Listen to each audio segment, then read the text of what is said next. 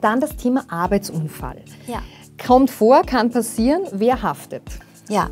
Ähm, sind die Mitarbeiter krank?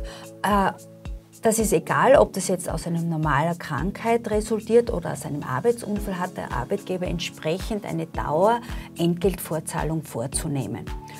Und kommt es zu einem Arbeitsunfall und zur Entgeltvorzahlung nach dem Arbeitsunfall, ist der Arbeitnehmer meistens noch ein bisschen besser geschützt als bei der normalen Krankheit.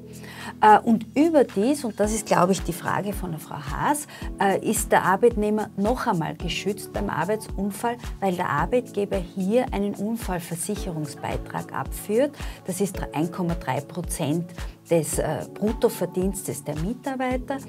Für alle Mitarbeiter führt er diesen Beitrag ab und damit sind alle seine Mitarbeiter besonders unfallversichert.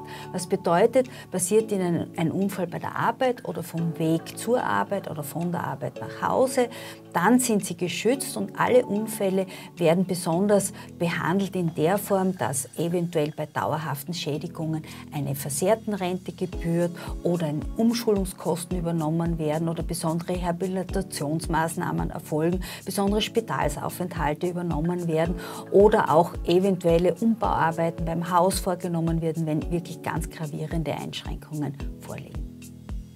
Also, also, sind wir in Österreich hier eigentlich ja, gut aufgestellt? Das muss man wirklich sagen. Mhm. Also im Unfallversicherungsbereich ganz sicher. Sehr schön. Mhm.